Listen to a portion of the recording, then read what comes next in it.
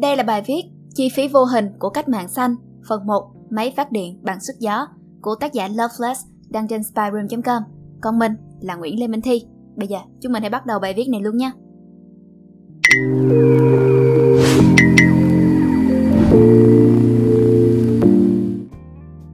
Disclaimer, toàn bộ bài viết mang tính chất cung cấp thông tin. Con người đã tận dụng năng lượng của gió từ rất lâu, từ các cối xe gió, các con tàu có buồm cho tới những máy phát điện sức gió hiện đại ngày nay. Với trào lưu sử dụng năng lượng xanh như hiện nay, sẽ khá là thiên vị nếu như không đề cập tới những chi phí vô hình của những máy phát điện bằng sức gió này, nhất là trong tương lai gần. Nguyên vật liệu làm nên máy phát điện Ngoài những chất liệu bình thường như chất dẻo, kim loại, có một thành phần cực kỳ quan trọng trong máy phát điện, đó chính là nam châm vĩnh cửu. Hầu hết nam châm vĩnh cửu sử dụng trong máy phát điện bằng sức gió là nam châm neodymium. Neodymium là một nguyên tố đất hiếm. Tuy vậy, vấn đề chủ yếu của neodymium không phải ở đặc tính vật lý hay hóa học mà là ở mỏ khai thác và quy trình khai thác. Hiện nay, mặc dù neodymium là một chất khá phổ biến trong vỏ trái đất, Trung Quốc là nơi duy nhất trên thế giới có mỏ neodymium quy mô lớn. Năm 2010, Trung Quốc ban hành chính sách quản lý kim loại đất hiếm mà nằm trong danh sách đó. Và hiển nhiên, với vị thế độc quyền, Trung Quốc dễ dàng thao túng giá của neodymium trên thị trường. Đứng trên khía cạnh kinh tế, hiển nhiên là chẳng ai muốn mua một sản phẩm trong một thị trường độc quyền cả. Ngoài ra, việc sản xuất các kim loại đất hiếm thường để lại chất thải vô cùng độc hại, bao gồm các axit như sulfuric acid, các chất khoáng khác, CO2, khí độc, các chất gây ung thư, các khí phá hủy tầng ozone và khói bụi. Các chất thải này gần như không qua xử lý và được xả thẳng vào môi trường. Và những tác động ngoại tính này thường bị đẩy cho người dân địa phương mà không hề được tính vào chi phí sản xuất. Vấn đề phát sinh khi vận hành Vì lệ thuộc vào sức gió, tất nhiên là thời gian chạy thực tế của máy phát điện bằng sức gió không bao giờ đạt 100%. Công suất lý tưởng cho máy phát điện bằng sức gió khoảng 7W trên mét vuông. Tuy nhiên trên thực tế, ngay cả những nơi có nhiều gió nhất, công suất thực tế cũng chỉ vào khoảng 30 tới 40%. Một vấn đề khác là các máy phát điện sức gió cũng chỉ hoạt động trong một giới hạn tốc độ gió nhất định. Gió quá yếu thì cánh quạt không chạy, gió quá mạnh thì lượng điện sản xuất ra có thể lớn hơn lượng tải cho phép, gây ảnh hưởng tới mạng lưới điện. Thậm chí, gió quá mạnh, ví dụ như trong các cơn bão, lốc có thể phá hủy máy phát điện. Mật độ máy phát điện trong một đơn vị diện tích cũng có giới hạn.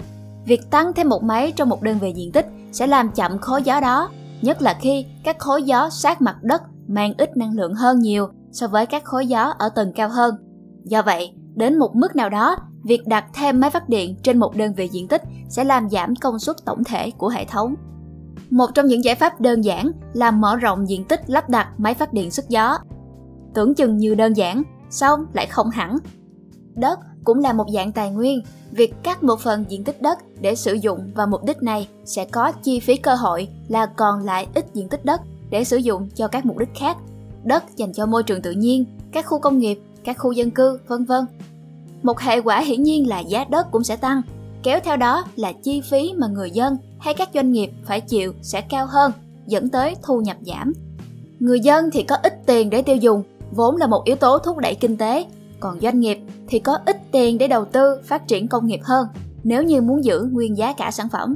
Và có lẽ cũng sẽ ảnh hưởng tới các công nghệ xanh khác mà các doanh nghiệp muốn phát triển. Một trong những giải pháp khác là đẩy các máy phát điện bằng sức gió ra xa bờ. Song điều này lại khiến chi phí lắp đặt và bảo trì lên rất cao do khoảng cách địa lý. Bài toán an ninh năng lượng một trong những tiêu chí hàng đầu khi phát triển kinh tế ở mọi quốc gia là an ninh năng lượng và năng lượng xanh là thứ chẳng đóng góp gì vào an ninh năng lượng cả. Với công nghệ hiện nay, chưa có một giải pháp hữu hiệu và kinh tế nào cho vấn đề tích trữ điện năng. Cái pin lớn nhất mà con người đang có là một cái pin nằm ở Nam Úc của Tesla, có sức chứa 129 MW, tốn 90,6 triệu USD.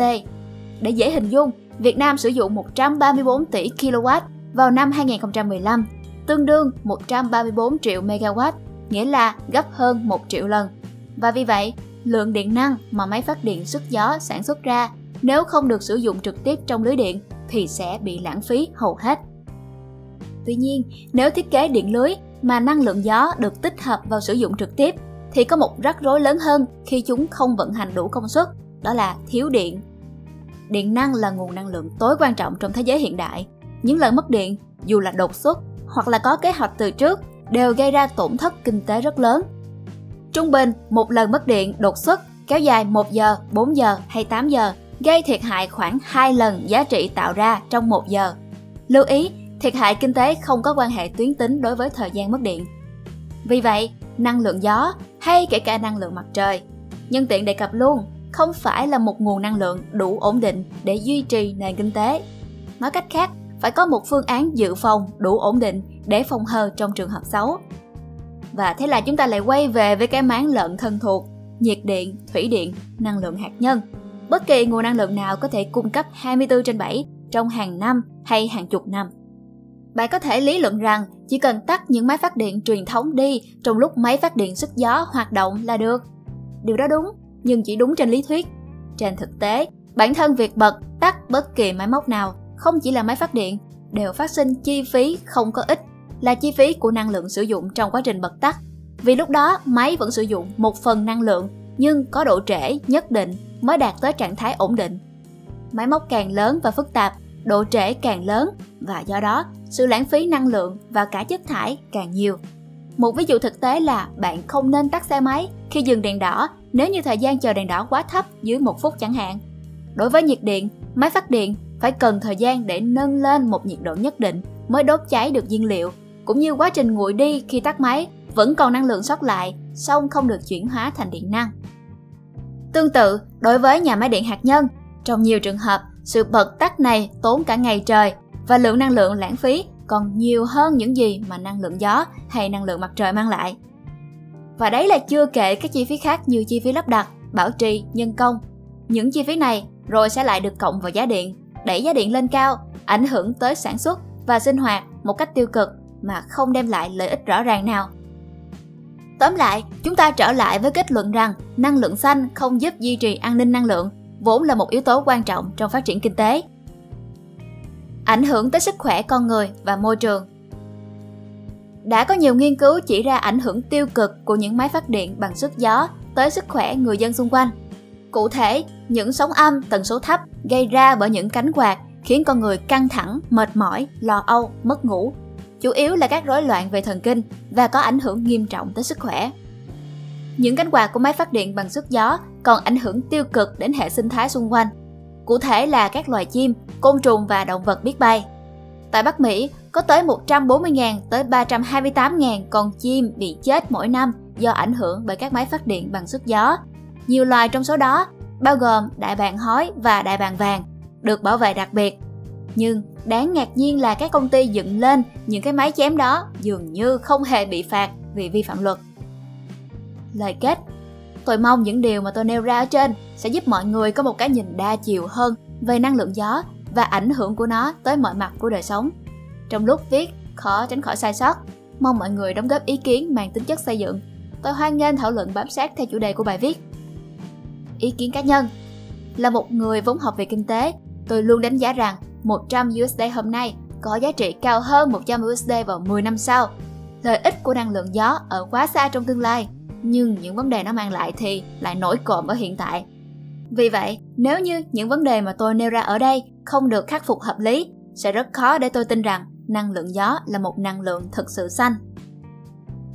Hy vọng là các bạn thích bài viết lần này. Đừng quên like, share và subscribe ủng hộ chúng mình. Và nếu như các bạn thích những nội dung như trên, hãy đăng nhập vào spyroom.com để tìm đọc thêm. Xin chào và hẹn gặp lại. Mình là Nguyễn Lê Minh Thiên.